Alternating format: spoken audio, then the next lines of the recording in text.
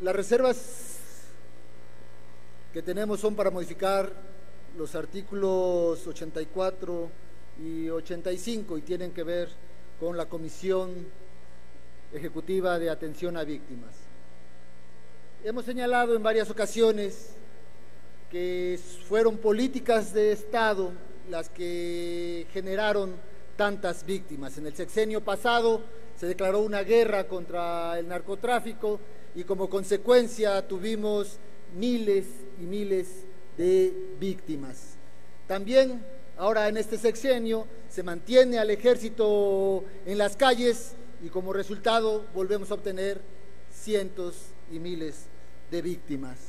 Y algunas de estas señalaron directamente a los responsables del Estado mexicano como los culpables. ¿Y cómo es posible que siendo eso, en el artículo 85, permitamos que esos encargados sean los que decidan el comisionado ejecutivo para la atención de víctimas?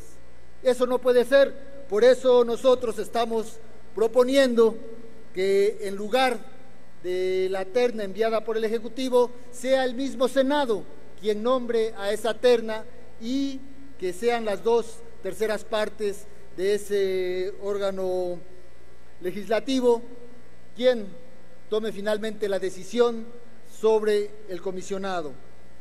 Desde luego, mantener el texto donde debe consultarse a la sociedad civil sobre las propuestas.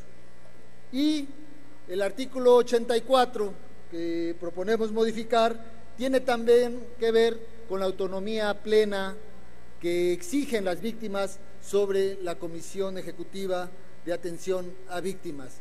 En el texto solamente menciona una autonomía técnica y nuestra propuesta es llevarlo a, una, a un órgano que cuente con autonomía de gestión y presupuestaria, no solamente la personalidad jurídica y patrimonio propios con que se mantiene en el dictamen hasta ahora. Es cuanto, Presidenta.